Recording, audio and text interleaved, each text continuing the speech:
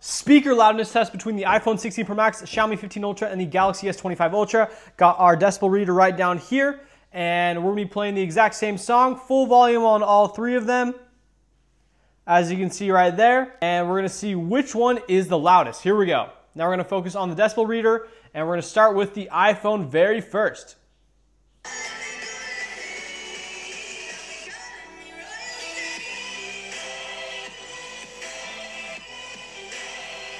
Now for the Xiaomi.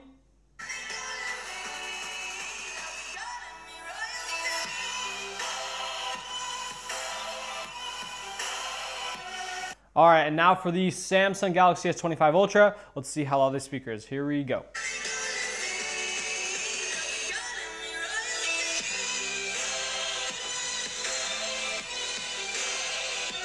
Seemed very impressive on all three of them. They all sounded really good, but we'll see in the edit which one was the loudest.